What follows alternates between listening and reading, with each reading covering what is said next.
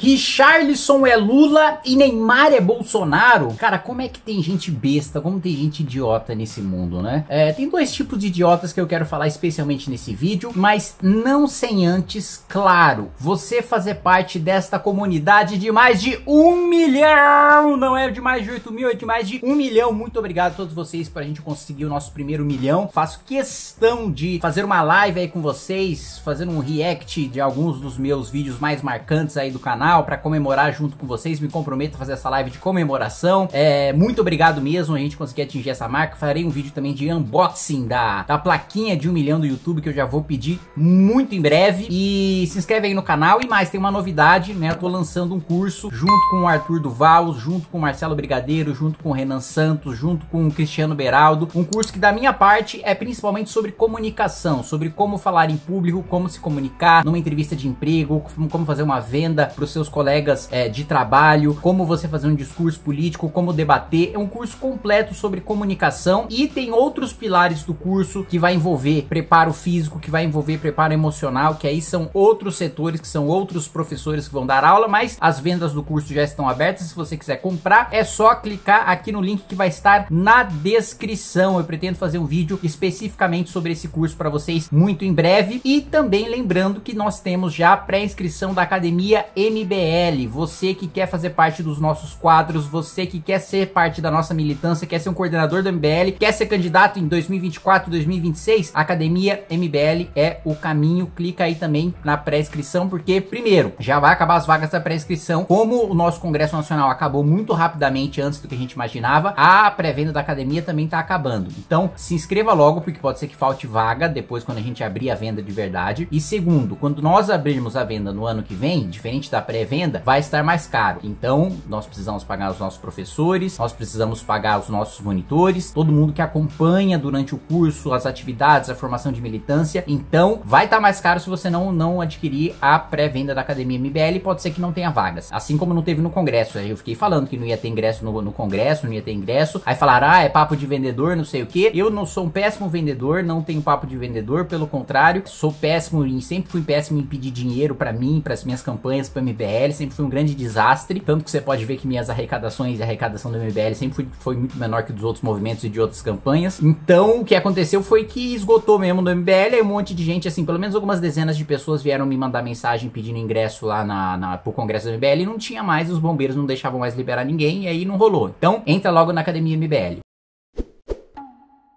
Vamos falar então primeiro do tipo de idiota que estava na frente do quartel e não acompanhou o jogo por causa disso, né? O sujeito que ainda tá pedindo golpe militar, primeiro, é um imbecil de pedir golpe militar. Segundo, não leu o relatório técnico que os próprios técnicos, a própria decisão, né, fundamentada que rebateu aquele pedido golpista, né, de revisão das eleições, de anulação das urnas, comprovou que não tem nada de não poder identificar urna, que não tem nada de ter registro de eleitor em urna, coisíssima nenhuma. O relatório técnico tá bastante bastante completo e bastante. Tem uma versão resumida de seis páginas, gente. Seis páginas. Dá para você, antes de terminar de fazer suas necessidades fisiológicas no banheiro, dá para você terminar de ler seis páginas e ver esse relatório técnico. Mas o sujeito tá lá na frente do quartel esperando, né? Nando Moura tira sarro, dá 72 horas. 72 horas, patriotas! Vai acontecer alguma coisa, vai ter uma grande intervenção militar. Quando os militares já estão negociando cargos no governo Lula e vocês aí fazendo papel de tonto. Quando o Braga Neto vai lá e fala que o Bolsonaro tá lá na casa dele batendo papinho, curtindo os últimos dias de Palácio do Planalto alto. Não percam a fé. Não, tamo bom. Lá na frente é só o que eu posso falar pra vocês agora. General Richard. Tá na chuva, tá no. Eu sei. Você tá em casa, tá lá conversando, tá batendo papo.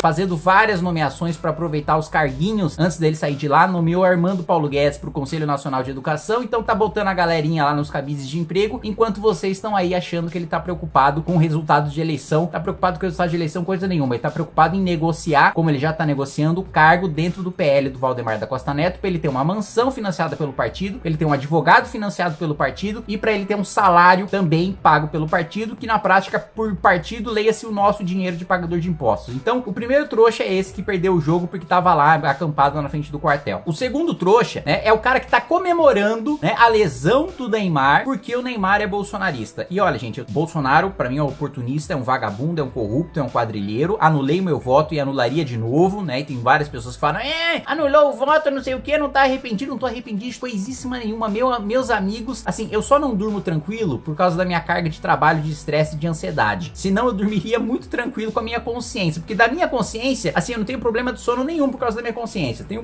problema de sono por causa do acúmulo de trabalho, de estresse, de processo, de problemas. Aí sim eu tenho. Agora, pela minha consciência, tá tranquilíssima. Eu não votei nem no Lula, nem no cara responsável pelo Lula tá no poder. Eu queria ter feito esse desabafo aqui antes para vocês. Não o desabafo sobre voto nulo, mas o desabafo sobre esse pessoalzinho aí que fica vinculando ideologia política com esporte, em torcer pro Brasil, no torcer do, pro Brasil com base na ideologia do artista. Mas eu não pude fazer, teve aquela treta na Unifesp. Fascistas travestidos de estudantes, de militantes políticos foram lá impedir que eu falasse, quiseram que eu saísse pela porta de trás, fiz questão de sair pela porta da frente, saí pela porta da frente, disse no microfone que democracia pressupõe você reconhecer o seu opositor como legítimo, como a outra debatedora me reconheceu e eu a reconheci, e nós debateríamos na maior tranquilidade, e eu responderia perguntas incisivas, agressivas, provocativas de qualquer aluno na maior tranquilidade também, não tenho medo de debate, mas parece que eles têm medo do que eu tenho para falar, né? Aliás, os próprios estudantes disseram um negócio bizarro, né? Olha, a gente não pode deixar o Kim falar, senão outras pessoas que se sentem representadas pelo que o Kim diz vão se sentir confortáveis de falarem a mesma coisa que ele fala. Pois eu quero muito que eu seja a ponta da lança, que eu seja o escudo, que eu seja o sujeito que apanhe no lugar de vocês para que vocês possam falar com muita convicção e com muita liberdade tudo aquilo que vocês acreditam se vocês se sentem representados por mim. E vou continuar, digo mais, se você é um estudante universitário, está no centro acadêmico, especialmente de uma universidade pública, quer que eu debata com uma pessoa que pensa diferente de mim, quer que eu seja sabatinado por alunos, quer que eu dê uma palestra sobre educação, sobre a minha atuação dentro do Congresso Nacional, eu estou à disposição. Vou a qualquer universidade pública ou privada falar para os alunos dessa universidade, especialmente aqui no estado de São Paulo. É mais difícil eu ir para outros estados porque eu preciso ficar indo de São Paulo para Brasília, cumprindo as minhas agendas. Mas aqui, especialmente no estado de São Paulo, você que quer me chamar, pode me chamar. Pode mandar e-mail, mandar mensagem no meu WhatsApp, especialmente. Entra aí no meu WhatsApp, entra aí no meu Telegram, fala que quer me levar aí na sua universidade e eu vou. Não tenho medo, não vou me deixar intimidar e pode ter militância se manifestar. Podem não me deixar falar de novo, mas eu vou, eu vou marcar presença, eu vou pisar na universidade e eu vou deixar muito claro que não tenho receio de ir em lugar nenhum para debater. Mas vamos falar do assunto, né? Gente, comemorar a contusão do Neymar, porque ele é bolsonarista,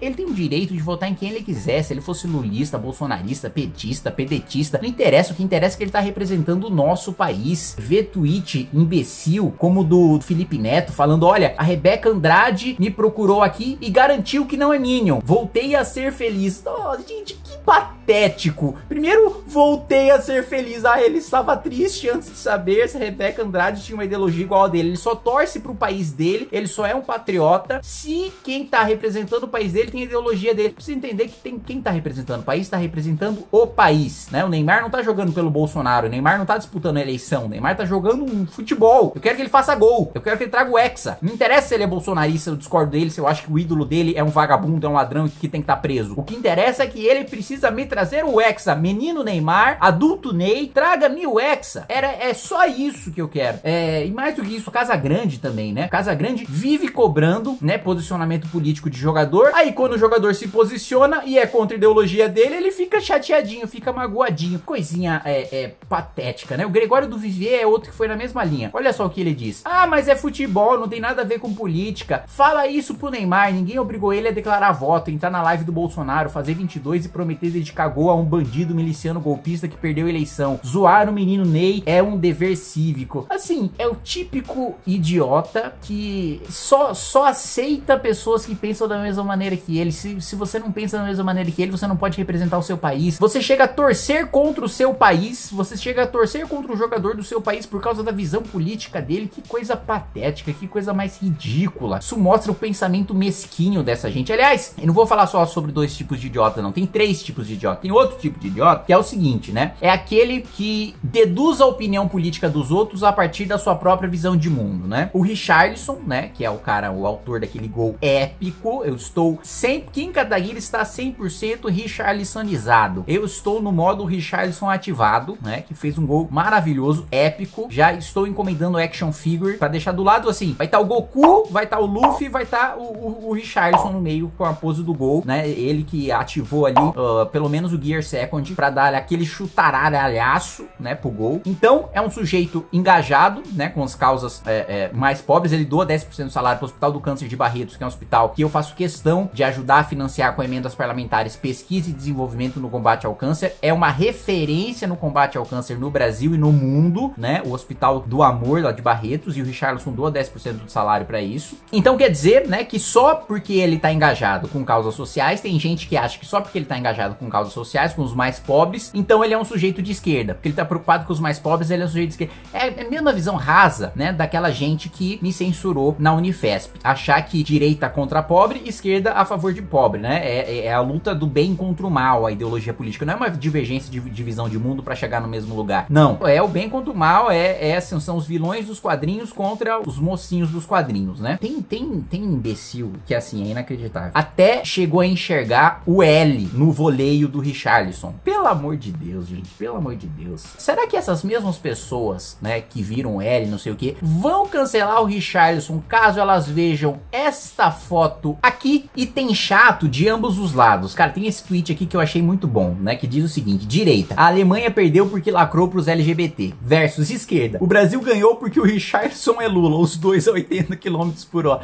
Sim, é, é assim, é realmente ridículo, é patético, né? O jornalista da Sport TV, o André Rizek, que é um sujeito de esquerda, todo mundo sabe disso, fez um tweet bastante legal, bastante interessante. Ele falou o seguinte: galera, a eleição já acabou. Neymar votou no mesmo candidato que Romário apoiou, com quem o Pelé simpatiza, quem o Marcos e Rivaldo apoiaram. Vocês querem cancelar os cinco títulos do Brasil por causa disso? Os mundiais de Fórmula 1, as conquistas de vôlei? Porque eu vou contar uma coisa: o esporte brasileiro como um todo tem as mesmas opiniões políticas que o Neymar. É a opinião de 49% dos eleitores. E é direito democrático de vocês torcer contra ou a favor de quem quiser. Mas é burrice achar que o Brasil melhora sem o Neymar.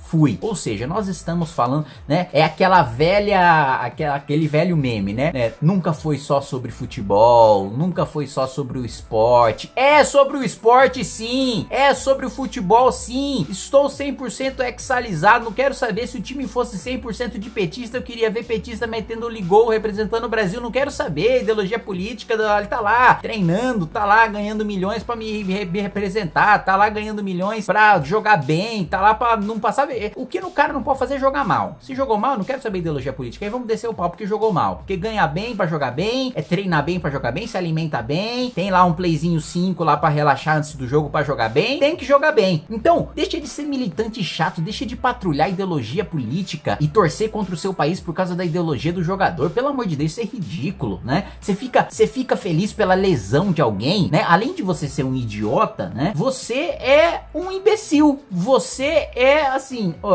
é verdadeiramente um fascista. Você fica torcendo, né, para que uma pessoa sofra fisicamente e deixe de representar o seu país porque você discorda da ideologia política dele. Bom, meu amigo, você tá muito mais próximo de um fascista do que você imagina, né? No final, né, vocês ficam aí brigando pela ideologia política do jogador. Bolsonarista e petista tá fazendo acordo na Câmara dos Deputados para saber quanto cada um vai levar na aprovação da PEC da transição. E vocês aí com briguinha, não sei o que, brigando com amigo, brigando com parente por causa de vagabundo, de corrupto, de quadrilheiro. Meus amigos, eles estão pouco se lixando para vocês. Vamos torcer pro nosso time e deixar isso de lado por enquanto? Coisas interessantes, coisas que todo mundo deveria se interessar e deveria se unir, petista, bolsonarista, quem é centrista, quem é não é nada, como por exemplo, aumento dos salários de político, que eu fiz um vídeo deu pouquíssima repercussão, porque as pessoas parecem que não querem saber disso, porque se não envolve uma briga contra o PT, vocês não querem saber. Se não envolve uma briga contra o Bolsonaro, vocês não querem saber. Quando é uma coisa que poderia unir todo o país, aí não. Quando é uma coisa senso comum, poderia todo mundo estar tá junto nessa luta, não. Não tem nem petista, nem bolsonarista, nem gente comum falando isso, nem ninguém falando isso. Só tem um imbecil aqui falando isso, preocupado com o aumento de salário que estão tentando aprovar no meio do, do, do, momento da Copa, que era pra gente se unir, que era pra gente estar tá feliz acompanhando os jogos. E aí tem um bando de pilantra na Câmara tentando aumentar o próprio salário. É isso, meus amigos. Um abraço e até mais.